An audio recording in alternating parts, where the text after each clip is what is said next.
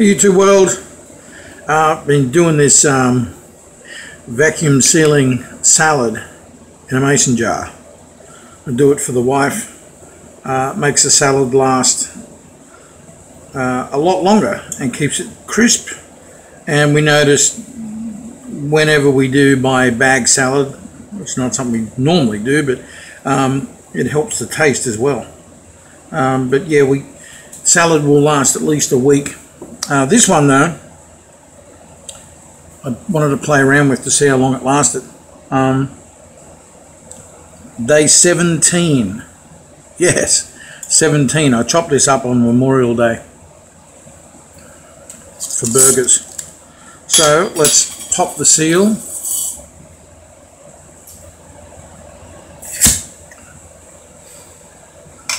Smells like lettuce.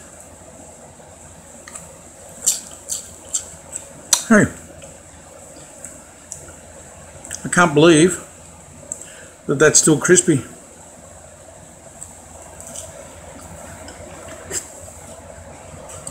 Um, yeah, it is edible and usable. I probably wouldn't. You can. It is just starting to get soft. Um, it's. I'm going to say about if fresh cut lettuce is 100% crisp, I would call this 65 to 70% crisp after 17 days in the fridge, obviously, but vacuum sealed in a mason jar. So, um, yeah, I'm just trying a bit more.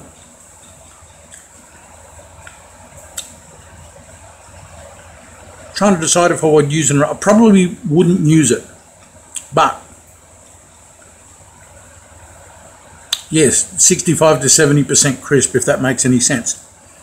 If fresh lettuce is 100%, it's definitely um, it's starting to soften up, but uh, borderline. You know, obviously, if I needed it, you know, for a sandwich, yeah, for a sandwich or a burger, I'd probably use it, but salad, no. But that's 17 days. Um, he said we've had bag salad that I bought because I was in a hurry. Just bought bag salad, brought it home, ate some, threw the rest in some mason jars. Uh,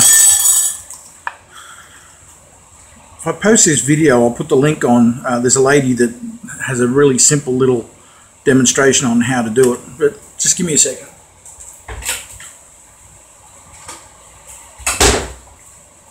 That's what you use.